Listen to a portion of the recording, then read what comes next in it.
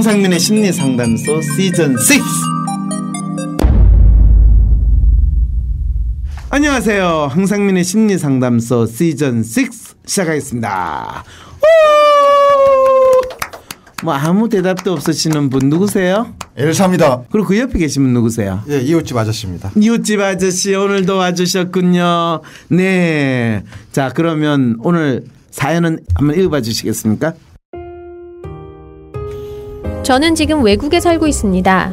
한 번에 이혼을 했고 아이 하나를 데리고 어릴 적 첫사랑과 재혼을 했고요. 아이 하나를 낳고 살고 있습니다. 어린 시절 유독 술주정이 심한 아버지 때문에 가정 폭력을 겪으며 살았습니다. 어린 시절 이상형은 없었고 남자친구를 만나면 빨리 결혼하고 싶다는 생각을 했습니다. 하지만 구체적인 결혼 생활에 대한 꿈은 없었습니다. 제가 첫째이고 엄마가 스무 살에 저를 낳았습니다. 아버지한테 저를 낳자마자 손찌검을 당했고 시부모님과 형제와 같이 살았지만 폭력으로부터 구해주지 않았다고 합니다. 그래서인지 엄마는 저에게 유난히 욕을 많이 했고 일을 많이 시켰습니다.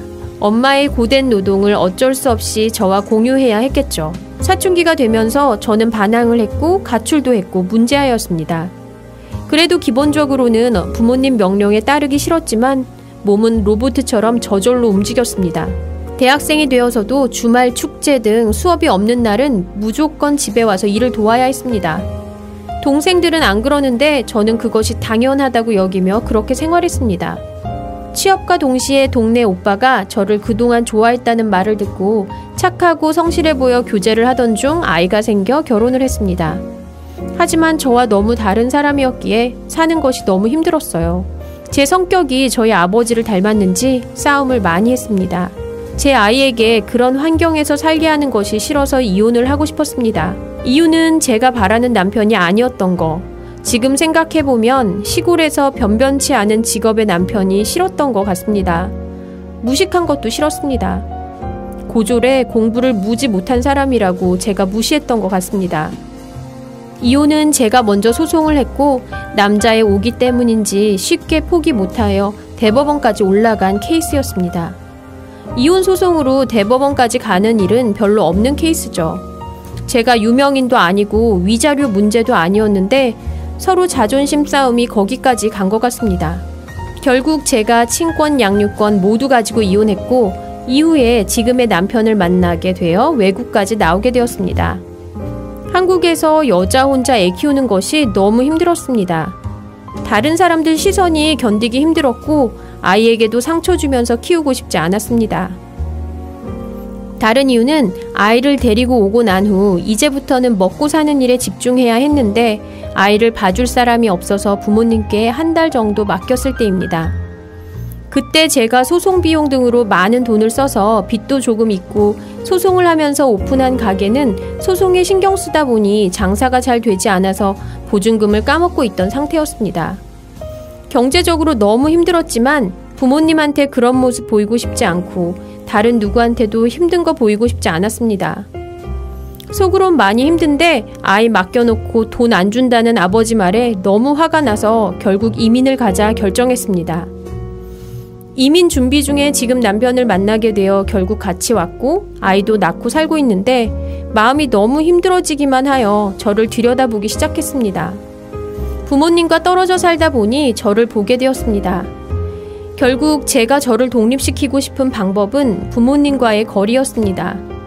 그러면 왜 그러고 싶은지 생각해 보니 어릴 적 아버지가 술을 먹고 오면 저는 무서워서 자는 척을 했습니다. 무수히 많은 그런 날 중 어느 날은 아버지가 저의 바지를 벗기고 팬티를 벗기고 웃는 소리를 들으며 눈을 감고 있었습니다.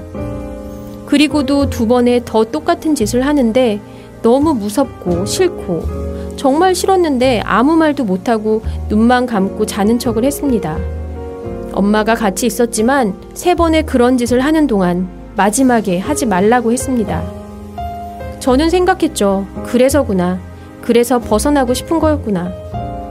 제가 이혼 소송 중 하던 가게는 엄마에게 돈을 빌려서 했고 엄마는 돈을 갚으라고 제가 이혼 소송 중에도 몹시 괴롭혔습니다. 갚겠지만 그땐 정말 돈이 없어서 현금 서비스 돌려막기로 살고 있었는데 아무튼 결과적으로 제가 이혼하면서 받은 집을 가져갔습니다. 제가 빌린 돈보다 더 많은 가치를 가졌는데 그냥 그걸 가져갔고 저는 항의할 수 없었습니다. 지금도 부모님이 소리 지르면 그냥 복종하게 됩니다. 나이가 들어가시니 바라는 것이 점점 많아지고 저는 하기 싫고 그런데 아이가 보고 있는데 불효자 모습은 보여주고 싶지 않아 인연 끊고 살고 싶은데 그러지 못하는 것이 너무 괴롭습니다. 보고 싶지 않습니다. 한국에 가고 싶지 않을 정도로 나이가 들수록 더 싫습니다. 전화로 목소리 들으면 최소 일주일은 우울합니다. 부모님들은 왜 저한테 준 상처에 대해 미안해하지 않을까요? 언제나 잘해줬다고 큰 소리 치는데 그런 폭력 가정에서 폭행당하며 크는 자식 중에 어느 누가 판사, 검사, 의사 될까요? 누구는 차를 사준다, 용돈을 준다, 이런 소리 너무 듣기 싫고 평생 안 보고 살고 싶은데 그러면 제 자식에게 교육적으로 안 좋으니까 연극을 하면서 살고 있습니다. 갈수록 더 힘들고 요즘은 죽는 것도 나쁜 일이 아니겠다. 빨리 가고 싶다. 이런 생각도 가끔 듭니다. 박사님, 방송 듣고 제게 솔루션을 주실 거란 믿음을 가지고 글 남깁니다. 네. 어유 사연 놀랍지 않으세요? 놀랍네. 놀랍습니다. 어, 뭐가 놀라워요? 저는 왜 곁에 있는 남편에게 네. 어, 고충을 털어놓고 도움을 좀 구하지 않을까라는 생각을 좀 해봤습니다. 어 남편 한테 이런 고충을 털어놓는 것 자체가 사실은 상당히 쪽팔리지 않겠어요? 그렇죠. 네. 그리고 사실 남편하고 재혼했다는 거에 대해서도 본인이 약간의 뭐 자책감 내지는 그런 게 있잖아요. 예, 그렇죠. 그러니까 이런 이야기까지 하면 남편이 혹시 나를 싫어하면 어떡하나 그 생각도 있고. 예. 그러니까 참 안타깝죠, 그죠? 예, 안타깝습니다. 근데 남편한테 자기 아픈 거 이 고통을 털어놓으면 뭐가 나아지나요? 아니 제, 남편이 그냥 배트맨 하고 날라가가지고 착착 처리를 해줘요. 생, 제 생각에는 최선은 아닌데 네. 지금 이분이 지금 외국에 살고 계시잖아요. 그렇죠. 이민 같은 네, 경우죠. 이민 가서 뭐 이웃이 있을 것 같지도 않고 그렇죠. 친인척이 곁에 있을 것 같지도 않고 그렇죠. 뭐 차선 차악 정도가 될 수도 있겠지만 남편 말고는 의지할 데가 없을 것 같습니다. 네, 근데 이분이 지금 예. 의지를 해야 되는 상황인가요? 이분 문제가 뭔데 그냥 남편한테 털어놔라 의지하라 이렇게 이야기하세요. 왜냐하면 그 고통스러운 기억이나 고통스러운 마음을 계속 네. 품고 있는 것보다는 누구한테 털어놓는 게 그래서 지금 경감- 사연, 사연 보냈잖아요. 네, 경감시킬 수 있는 방법이 되지 않을까 그렇죠. 생각이 들죠. 왜 예. 남편한테는 매일 얼굴 마주치고 부딪히고 또 남편이 또 결혼을 한 거 한편으로 고맙기도 하고 한편으로는 약간 죄책감도 있고 이런 상황이니까 네. 털어놓는다는 게 위험 부담이 너무 크다고 생각하잖아요. 그렇죠. 그럴 네. 수 있죠. 그러니까 남편한테 이야기를 해야지 소통을 하세요. 이런 거는 너무 무책임한 무책임하진 않지만 않지만- 하나만한 소리죠. 예. 그 말이 그 말이죠, 그죠? 예. 아니 그 이분 보면은 그 삶이 투쟁인 것 같아요. 어이 좋은 표현을 쓰네요. 어, 간혹가다가 멋있는 말 한마디 던지면 뭐 다 해결된 것처럼 이야기하려고. 이분은 이 분이 사는 것의 삶을 자기가 표현했다고 보는데 자기 생활을 음흠. 그 어느 곳에서도 뭐 보람이라든지 약간의 뭐 따뜻함 이런 건 전혀 안 느껴져요. 그렇죠. 네. 근데 사실은 이분이 성향을 보면요, 지금 에이전트 만빵에다가 이 트러스트하고 셀프가 높거든요. 네. 그리고 리얼리스트 성향하고 relation은 일치해요. 음. 그럼 이분한테는 삶은 고통의 연속이다. 가 아니라 음. 그냥 삶은 그냥 생존 그 자체고 그러니까요. 남들이 보기에는 쟤는 뭐 그냥 지 할 일 뻔뻔하게 하면서 그냥 잘 사네라고 생각을 해요. 그러니까 그 이혼하는데 대법원까지 갔다고 하잖아요. 그렇죠. 보통 사람들이 이게 할 수가 있는 게 아니라고 생각은 들거든요.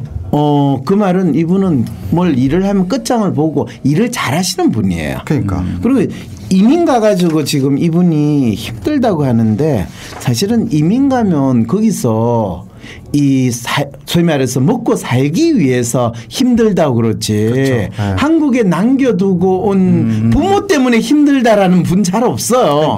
그 말은 그 어려운 이민 상황에서도 이분은 어쨌든 웬만큼 거기서 먹고 살고 있다는 거예요. 음. 그렇죠. 먹고 사는 문제는 없는 거죠. 그렇죠. 네, 최소한. 그런데 한국에 남겨진 그 보기도 싫고 만나기 싫고 듣기도 싫은 그 부모님에게 효도를 하고 싶은 마음에서 지금 괴로워하는 거 놀라운 사연 아니에요? 그리고 이혼하면서 받은 집도 부모님한테 주었고 그러니까. 그래서 한국에 이미 본인이 물질적이거나 마음이나 아무 빚이 없는 상황인데도 여전히 미국에서 사는 아이한테 효도하는 이 엄마의 모습을 보여주기 위해서 본인이 한국에 전화도 하고 그러니까요. 또그 스트레스 쌓이는 그 이야기를 듣는다 이런 놀라운 일을 하시는 거예요. 네. 좋은 대통령이 나쁜 대통령이 된다. 대통령을 선택하는 한국인의 심리를 밝힌 책. 그들의 속마음은 무엇인가? 대선에선 누가, 누가, 무슨 이유로 권력을 잡는가? 2017년 장미대선. 이 나라의 진정한 주인이 되고 싶은 국민을 위한 책. 황상민 박사님의 신보. 좋은 대통령이 나쁜 대통령이 된다. 지금 전국 온오프 서점에서 만나보실 수 있습니다. 갑자기 제가 유학하던 시절이 생각이 나요. 저는 1년에 한 번 전화를 할까 말까 했거든요. 돈 달라고 할 때 전화하신 거 아니에요? 어, 뭐, 그때는 유학할 때는 부모님한테 제가 손을 벌리는 상황이 아니고 서울에서 공부할 때는 한 서너 달에 한 번씩 전화를 했죠. 저도 그랬습니다. 예, 그렇죠. 예. 그게 전혀 이상한 게 아니에요. 그러니까. 그건 효심이 없어 그런 거 아니에요. 그때는 저, 그 통신비가 비싸가지고 30초 정도 빨리. 보냈다 치고 전화 끊어버리고. 그리고 이웃집 아저씨 효심이 깊다는 걸 제가 알기 때문에 서너 달에 한 번씩 서울에서 공부하는 아들이 이 참 지방에 있는 부모님한테 전화하는 거 그거 자연스러운 일이거든요. 근데 이분은 지금 상당히 헷갈려요. 그리고 이분 이제 그냥 긴 이야기를 간단히 이야기하면요. 이번 어린 시절에 자기가 상당히 힘들게 그리고 심지어는 부모한테 뭐 거의 성추행까지 당한 그런 성적 학대까지 받고 이 다른 학대 뭐 얻어맞고 하는 이런 물리적 학대는 기본인데 그래도 나는 부모가 시키는 일 열심히 잘했다. 놀랍지 않아요? 음. 진짜 착하고 훌륭한 딸이었어요. 그런데다가 결혼 처음 결혼한 거 잘한 거예요, 못한 거예요? 실패한 결혼이라고 보죠. 네. 근데 그 실패한 결혼이 자기 엄마가 결혼한 거하고 별로 그렇게 다르지 않아요. 다르지 않네요. 네. 그러니까 엄마에 대해서 징글징글하고 엄마를 너무너무 싫어하지만은 엄마가 살아왔던 삶을 거의 재현하는 딸이 지금 재현하고 있다는 생각 안 드세요? 그게 무슨 심리학적으로 이렇게 좀 그런 게 있는 건가요? 어, 심리학적으로 그런 게 있는 건가요 라는 거는 얼마든지 말만 만들어내면 심리학 이론을 제가 오늘 이야기할 수 있죠. 음.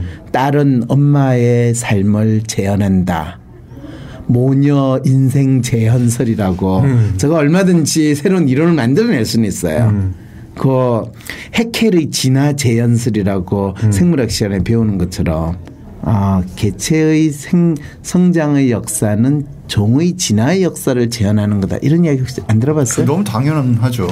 뭐가 당연해요? 아니 개별의 역사가 보편의 역사 속에 있는 거니까 사실은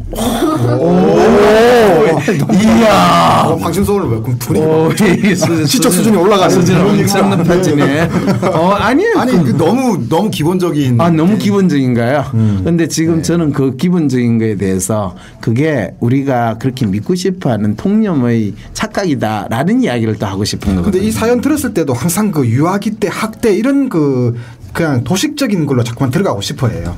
그건 많은 이 삶의 사연을 가지신 분이 자기 삶이 왜 이렇게 어려워졌는가. 그리고 자기가 현재 가지고 있는 문제가 뭔지를 잘 모르니까 과거의 역사를 다시 한번 재현하면서 내가 그 어릴 때 이런 경험을 했기 때문에 현재 오늘 저희 모습이 됐어요. 이렇게 이해하고 싶은 그런 기본적인 경향은 있어요. 이게 이제 프로이드가 만들어졌다고 그러는데 사실은 인간이 자기의 현재의 문제는 상황을 이해하고 싶을 때 과거의 역사를 덜먹이는 거는 아주 습관적으로 학습한 잘 학습한 행동이나 사고의 패턴이기도 해요.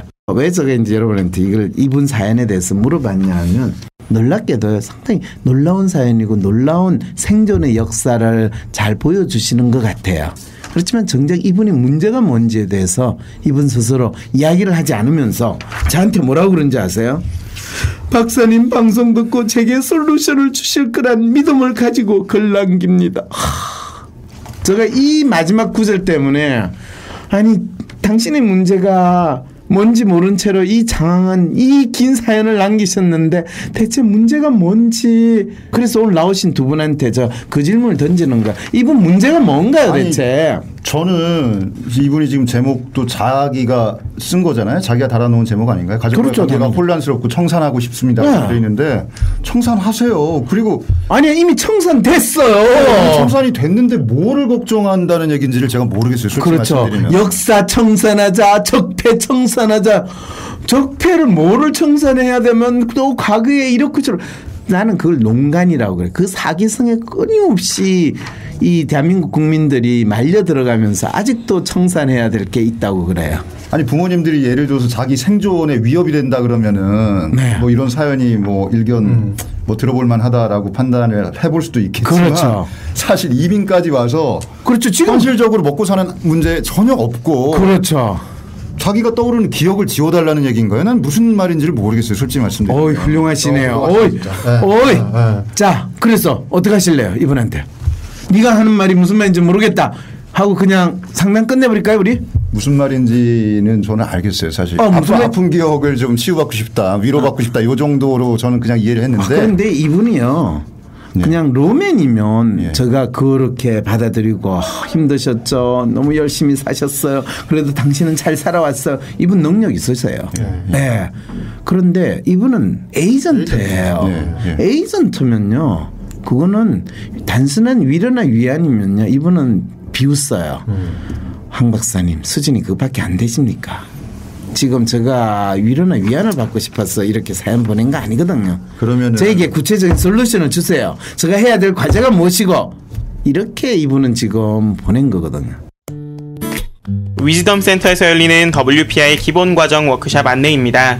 위즈덤 센터에서 진행되는 이 기본 과정 워크샵에 참여하시면 WPI 개발자이신 황상민 교수로부터 직접 성격 심리 원리와 WPI 기본 유형, 프로파일 해석의 기초를 배우실 수 있습니다. 자기 자신을 있는 그대로 바라보고 사랑하고 싶으신 분, 내가 살아가면서 겪고 있는 반복적인 문제를 이젠 풀어보고 싶으신 분, 가족과 직장 동료들과의 관계에서 불안하고 고민이 있으신 분, 자기 분야에서 WPI를 활용하고 싶으신 분, 그리고 WPI를 활용한 상담과 코칭에 관심이 있으신 분, 이 밖에도 다양한 필요를 가지신 여러분들께 좋은 배움의 기회가 될 것 같습니다. WPI 기본과정 신청 또는 문의사항은 위즈덤 센터 홈페이지 공지사항을 확인하시거나 전화 또는 메일 주시기 바랍니다. 전화번호는 02-6207-7430 이메일 주소는 wisdomcenter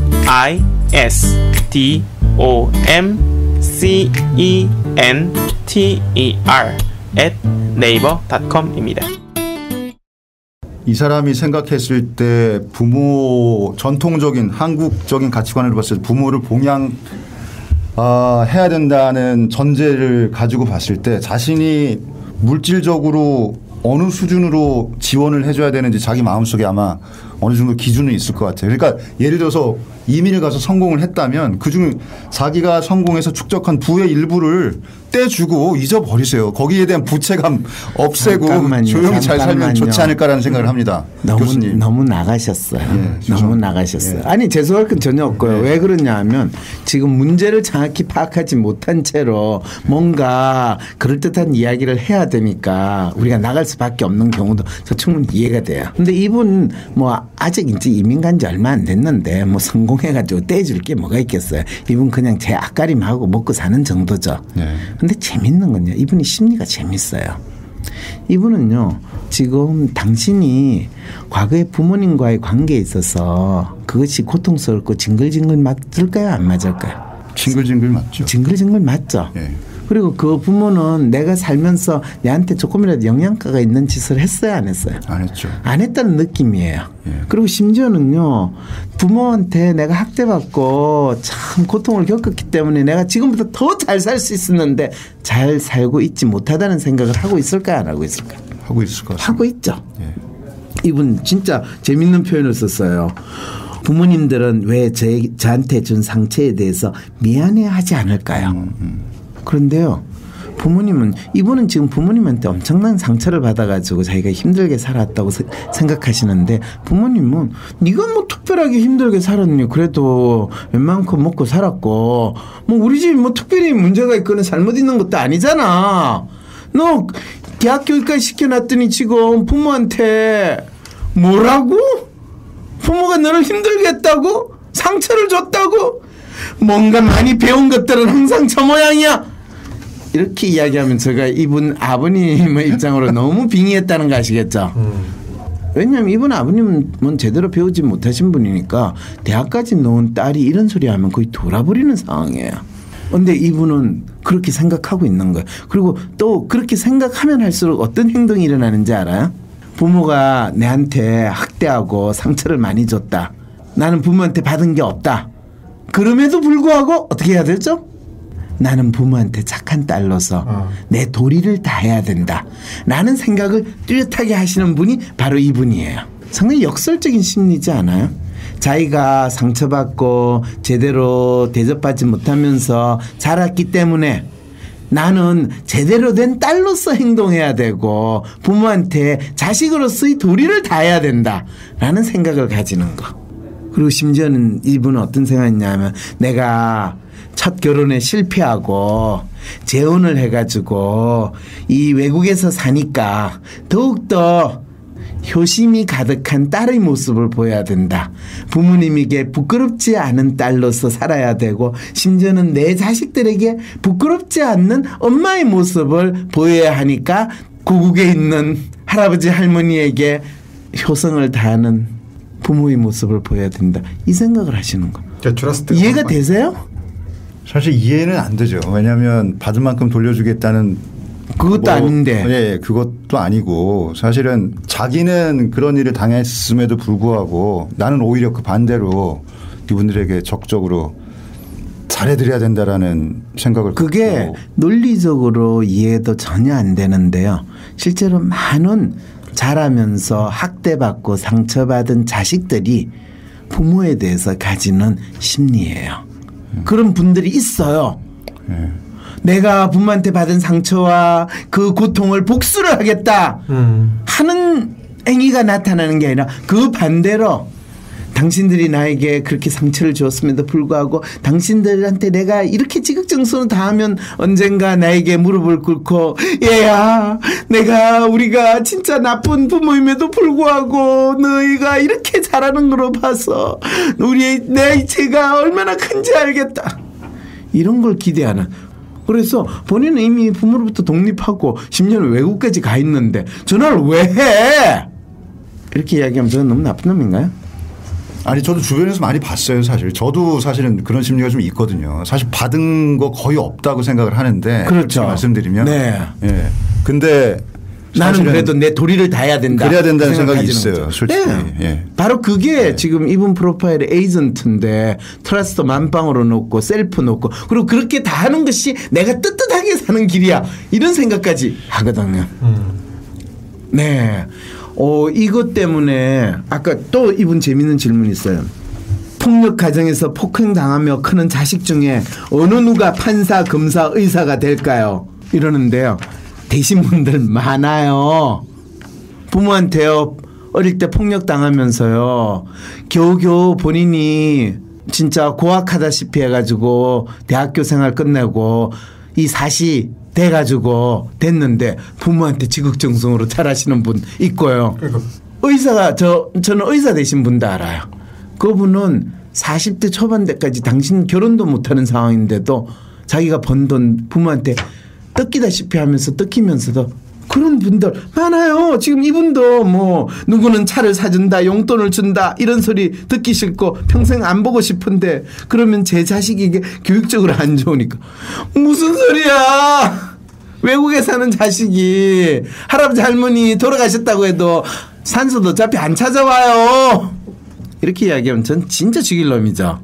저는 공감합니다. 네. 예. 본인이 스스로를 고통스러운 일을 스스로 만들고 나서 마치 그것 때문에 괴로워하는 것이 본인이 착하고 바르게 사는 사람의 도리를 다한 거 아니에요. 이런 지금 이 상담을 저한테 받고 싶어 하니까 제가 당신이 지금 송구스로 당신을 쿡 찌르고 나서 제가 왜 아픈지 박사님 제발 솔루션을 주세요. 이런 상황이라고 제가 말씀드리고 싶거든요.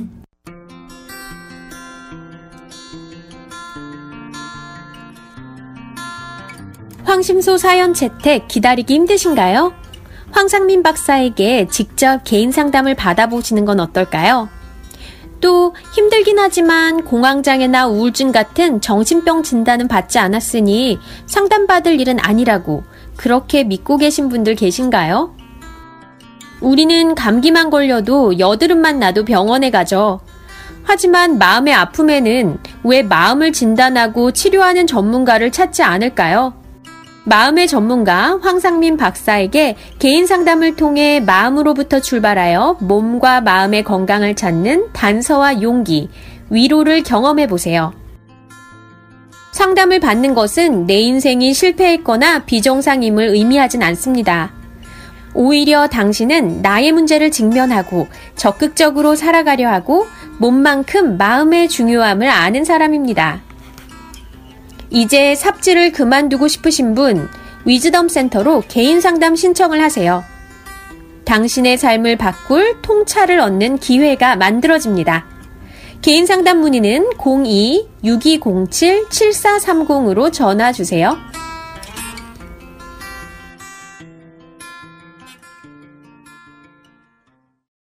그러면 제가 전화 안 해도 돼요. 당연히 안 해도 되죠. 전화 오면 어떻게 바쁘다 끊으세요. 그리고 네가 외국에서 산다고 힘들 텐데 돈 좀 보내주겠다. 그럼 어떻게 해야 되냐고. 아 그럼 국내 계좌번호 있는 거 알려주세요. 그게 입금시키나라 그러세요. 뭐 그런 일은 안 일어날 거라는 거 아시죠? 아, 절대 안 일어날 것 같아요. 네.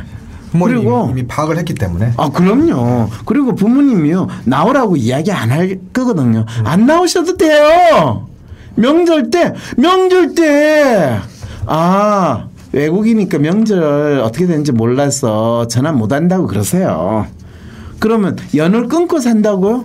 연은요, 연줄이 끊어지면 연은 날아가는 거예요. 연이 끊기 아니고 연줄이 끊기는 거예요. 너무 잔인하다고요. 저를 그런 눈으로 보시면. 아닙니다, 아닙니다, 아닙니다. 저는 그러면 이분은 지금 고민되는 거 하나도 없잖아요. 남편 남편이 잘해주니까 지금 남편 고민 여기 없잖아요. 왜 아무 자기 삶하고 관계가 없는 지금 조국에 계신 부모님을 걱정하시고 부모님 때문에 외국에 사시면서 이렇게 힘들어하시는지 저는 참 제가 참 알고 싶지 않네요. 아시겠어요? 그러니까 저게 옛날에 그 못 살 때 그 독일에 광부로 가가지고 돈 보내고 하는 거 비슷한 심리 같아요. 아 그때는 뭐 그렇게 해야 된다고 세뇌를 그러니까. 당했으니까 그런 사기를 당하는 것 당연한데 지금은 사실 그 몇 푼 돈 보내줘도 별로 고마워도 안 해요. 외국에서 천불이면 엄청난 돈이거든요. 네. 그런데 한국에서 100만 원 하면 그냥 힘들게 산다는 애 알바해가지고 버는 한 달 돈밖에 안 돼요. 음. 그래서요. 저는 이분 사연에서 쭉 보면서요. 한국에 가고 싶지 않을 정도로 나이가 들수록 더 싫으면 안 오시면 돼요. 예. 네, 안 오시면 돼요. 본인이 스스로 내가 어떻게 살아야 되고 어떤 사람인가에 대해서 아직도 자기 정체성에 대한 명확한 규정이 안 되니까 과거에 찌질하고 힘들고 한 그거를 아직 자기의 모습이라고 매달리고 싶은 그런 심리라고 할 수 있으실 것 같은데요. 정신 차리세요. 본인도 믿지 않는 거를 믿어야 돼, 믿어야 돼. 부모님에게 내가 그동안 받은 상처를 효도로 돌려드려야 돼. 네. 아니거든요. 그리고 이미 잘 벗어나셨어요. 그리고 재혼 참 잘하셨어요.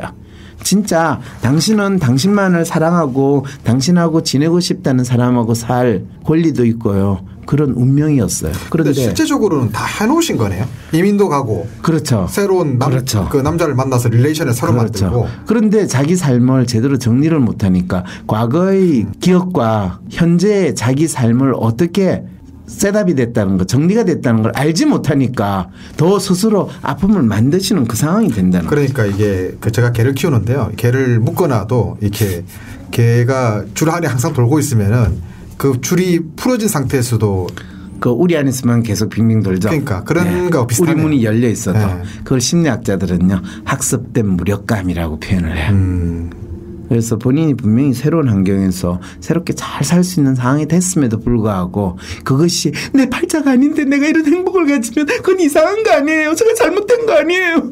이런 마음으로 나의 과거의 고통을 잊지 말고 계속 유지를 해야지 내가 제대로 사는가 이런 황당한 또 다른 자기 인생에 대한 엉뚱한 규정을 하면서 박사님 제게 솔루션을 주세요 이러는데 지금 두렵거든요. 헬조선에서의 심리 독립을 돕는 방송 황심서입니다. 황심소가 더욱 많은 사람들의 심리 독립을 도울 수 있도록 후원해 주세요. 팟빵 황심소 페이지 공지 사항을 확인해 주세요. 황심소 해피 나눔 시스템을 통해 간단하게 후원하실 수 있습니다. 안정적인 직장 번듯한 집과 차 부자가 되면 행복할 수 있을까 만약 대통령이 바뀐다면 그분이 날 구원해 줄 수 있을까 위로나 힐링도 이젠 지친다고 하네. 다들 답을 엉뚱한 데서 찾네. 셜록 황은 말해. 이분 지금 문제가 뭐예요? 이젠 속지 말고 황심소들을 차례. 너와 날 제대로 알고 싶다면 남탓 그만하고 홀로 서고 싶다면 새로운 변화를 만들어 가고 싶다면 후원하기 클릭. 황상민의 심리상담소. 저가 남의 불행과 아픔을 너무 지금 가볍게 지금 상담을 해줬나요? 아닙니다, 아닙니다. 저는 사실은 제가 한번 읽어봤어요. 읽어봤는데 네. 한 번이 아니고 몇 차례 읽어봤는데 난 뭐가 고민인지를 솔직히 모르겠더라고요. 이 사람 너무 진짜 사치스럽게 그러니까 사치스러운 사유를 하고 있구나. 솔직히 말씀드리면 아니 왜냐하면 상당히 있어 보이는 용어를 어떻게 그렇게 자연스럽게 잘 쓰세요? 듣는 분은 기분이 나쁠 수도 있겠지만 난 기분 전혀 안 나쁘실 거예요. 예. 네. 저는 사실 이분이 고민을 할 이유가 없다고 없다 생각하는데 이분은. 거의 그래서 네.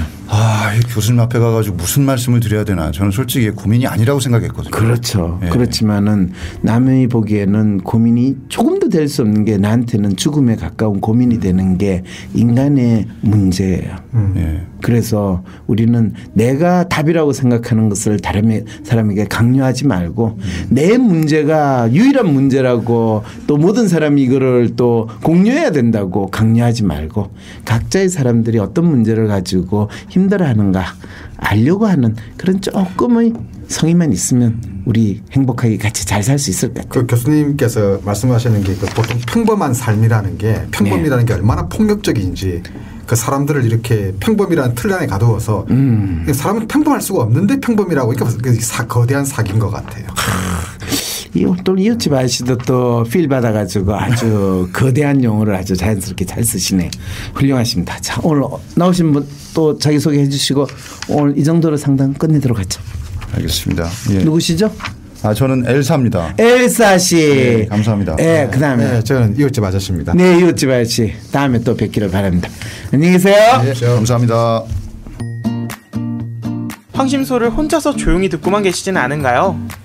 친구랑 가족이랑 황심소를 듣고 이야기를 나누고 싶은데 그들은 도통 들을 생각을 하지 않으니 계속 혼자 들을 수밖에 없진 않으셨나요? 황심소를 듣고 함께 이야기 나누고픈 마음이 충만한 여러분을 위해 황심소 리뷰 클럽을 만들었습니다. 혼자서 조용히 듣고만 계시지 마시고 모여서 함께 이야기 나눠봅시다. 황심소에 나온 사연을 가지고서 물고 뜯고 맛보고 즐기는 시간 그리고 덤으로 통찰까지 가져가는 시간 되겠습니다. 모임의 호스트는 위즈덤 센터의 이은주 박사님입니다. 그 첫 시작은 5월 10일 수요일 오후 3시입니다. 선착순 10명으로 제한하오니 신청 서둘러 주세요. 자세한 내용 및 신청은 팟빵, 황심소 네이버 카페, 황심소 페이스북 등의 공지사항을 통해 확인해 주세요. 총괄의 서지영, 편집의 천천이었습니다.